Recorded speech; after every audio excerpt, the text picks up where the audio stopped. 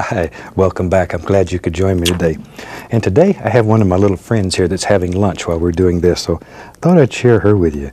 This is a little baby fox squirrel, and she's just having a little lunch with me.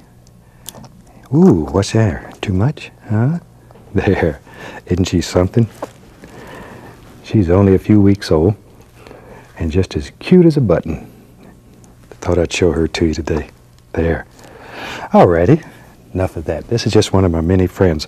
I'm going to set her down and we'll get started here. Okay, if I can get her off my shirt. There. They have about 9,000 claws and they can all seem to grab you at once. Alrighty, tell you what, come on up to the canvas. Let me show you what I've got done today.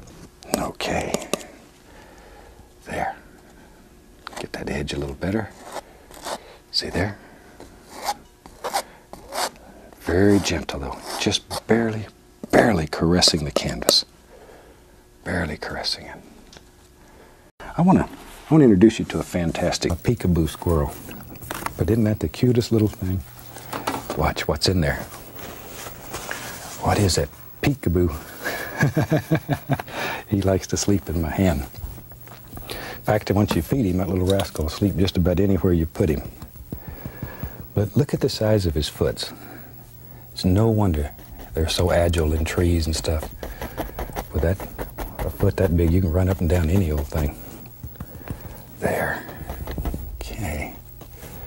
But I like to just watch him sleep like that sometime. There. I like to put these little dark areas in because it makes all kinds of nice things. There we are. Something like that. We'll put a little. But by now you should see how we make them.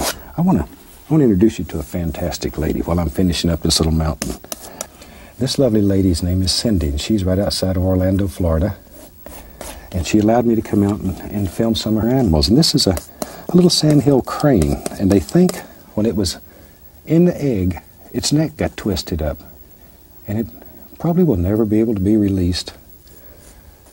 But gorgeous ladies like Cindy devote their whole life to just taking care of God's little creatures like this. She has all kind of creatures out there. If you saw the owl earlier, that belonged to her. That's a baby that she's getting ready to release. Probably by the time you see this, he'll be out and living on his own someplace, having a good time. But I'm, I have the greatest admiration for people who devote their whole lives to them. And see, here's Cindy showing me the biggest squirrel I have ever seen in my life. This is called a Sherman fox squirrel, and he's as big. Well, he's as big as a small kitty cat, and very docile, very quiet little squirrel. And this one is is quite a pet. He belongs to my friend Cindy, one of the rehab ladies that lives around Orlando there, and she's takes care of him. She's turned him loose several times, and he won't go away. He's sort of like one of my squirrels that I have. I keep turning him loose too, and he comes back. But now this squirrel's big enough, he knocks on the door and comes on in. His name is Little Bit. But isn't he something else? There. Okay. That's about all I'm going to do on these mountains. That's very simple little mountain to do. Think you'll like it. Prussian blue, phthalo green. I like phthalo green.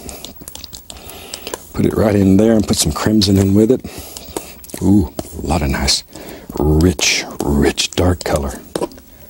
Let's make some trees. Grab the old fan brush and we'll just fill it full of color. A lot of color in it, both sides. Okay, let's go right up here to the canvas. Big decision time in our world. Does now. Lives a happy little tree. I'm to push upward. Make little pushy up trees. Just use a corner of the brush, push upward. That phthalo green in there just gives it a nice little effect. I like that.